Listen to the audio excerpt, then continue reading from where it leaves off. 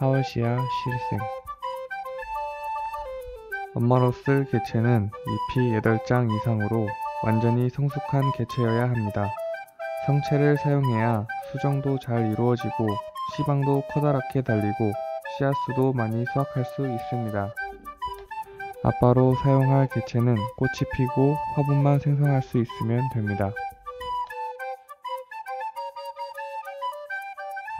2. 수정하기 꽃이 빛을 충분히 받도록 합니다. 수월한 수분을 위해 꽃잎을 뜯어줍니다. 3. 꽃잎 제거 핀셋으로 위쪽 꽃잎 3장을 고정해주고 손으로 아래 3장을 한 번에 잡아 아래쪽으로 당겨줍니다.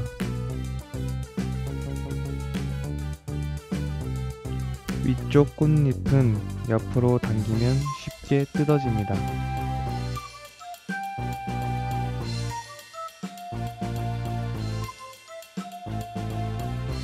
4. 꽃가루 생성 아빠로 쓸 수술은 꽃잎을 제거한 후 꽃가루가 충분히 부풀도록 짧게는 2시간에서 3시간, 길게는 하루쯤 햇빛을 충분히 쬐어줍니다. 5. 수술 추출 핀셋으로 암술만 남겨두고 수술은 꽃에서 제거합니다. 이때 꽃의 중앙에 위치해 있는 암술이 다치지 않게 주의를 기울여 주세요. 6. 부벼주기 암술 머리에 핀셋에 묻은 수술을 부드럽게 부벼줍니다. 이때도 암술이 부러지지 않도록 주의해야 합니다.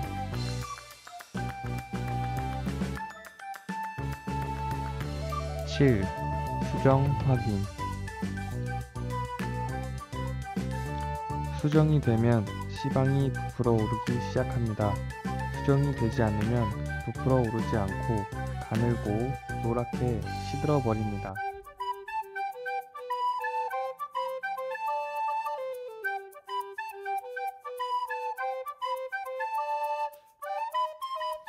어떤가요?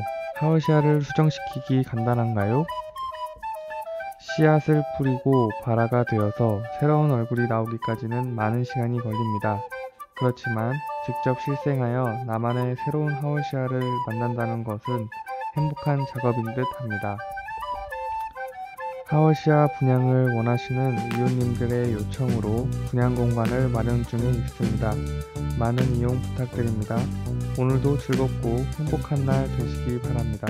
시청해주셔서 감사합니다.